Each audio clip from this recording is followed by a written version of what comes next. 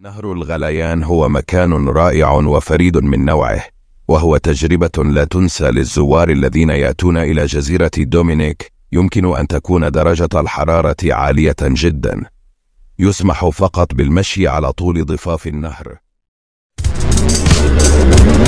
العديد من الأنهار الغريبة في العالم ولكن من بين أغربها نهر الماء الساخن لدرجة لا يستطيع أي كائن حي من الاقتراب من الماء. يقع النهر في غابة الأمازون في البرازيل ويشتهر بمياهه شديدة الحرارة.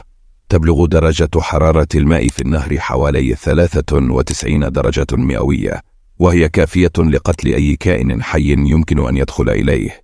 يعتقد العلماء أن مياه النهر تأتي من مصدر حراري أرضي. ترتفع المياه الساخنة من الأرض وتلتقي بالمياه الباردة من الأمطار مما ينتج عنه نهر ساخن. على الرغم من درجة الحرارة العالية إلا أن النهر يحتوي على عدد من الكائنات الحية. تعيش هذه الكائنات في المياه الساخنة بسبب وجود بروتينات خاصة تساعدها على البقاء على قيد الحياة في درجات الحرارة العالية.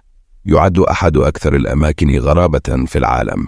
إنه مكان فريد من نوعه يتمتع بجمال أخاذ وحياة برية متنوعة.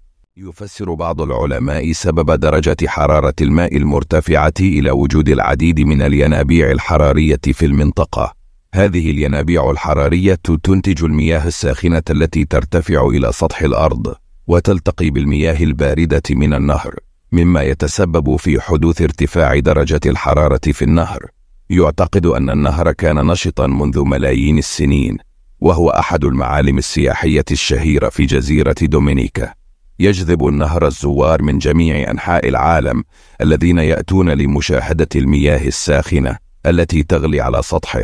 يمكن للزوار السباحة في ماء النهر ولكن يجب أن يكونوا حذرين من المياه الساخنة التي يمكن أن تسبب الحروق. كما يجب على الزوار عدم السباحة في النهر إذا كانوا يعانون من أي مشاكل صحية. هو مكان رائع وفريد من نوعه وهو تجربة لا تنسى للزوار. الذين يأتون إلى جزيرة دومينيكا يمكن تعتبر منطقة النهر الساخن موطنا للعديد من الثقافات الأصلية في أمريكا الجنوبية وتوجد هناك العديد من المدن والمواقع الأثرية الهامة مثل ماشو بيتشو وسانتياغو دي تونغو. وتعتبر هذه المنطقة منطقة سياحية شهيرة بسبب جمالها الطبيعي وتنوعها الثقافي والتاريخي. فإن النهر يشتهر بأنه مصدر للطاقة الكهرومائية. يتم استغلال طاقة تدفق المياه في النهر لتوليد الكهرباء ويوجد العديد من السدود والمحطات الكهرومائية على طول النهر. كما أن النهر يعتبر مصدرا مهما للصيد حيث يحتوي على العديد من أنواع الأسماك المختلفة مثل أسماك البيرانة والسلمون والقرش الأسود. والصيد بالصنارة والصيد بالسهام لصيد الأسماك.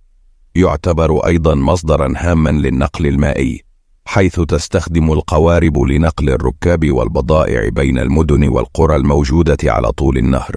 وتعتبر هذه السفرات جزءا من تجربة السفر في المنطقة حيث يمكن للسائحين الاستمتاع بمشاهدة المناظر الخلابة والحياة البرية المتنوعة على طول النهر. وأخيرا يعتبر النهر مكانا مثاليا للمغامرات حيث يمكن للسائحين القيام بالعديد من الأنشطة المثيرة مثل ركوب الكاياك وركوب القوارب السريعة والتجديف والتسلق والتخييم على ضفاف النهر. وهذه الأنشطة تجعل من النهر صاحب الماء المغلي وجهة مفضلة لمحبي الطبيعة والمغامرين. إذا أكملت الفيديو لا تنسوا الاشتراك في القناة. ووضع إعجاب حتى نستمر في تقديم كل ما هو جديد.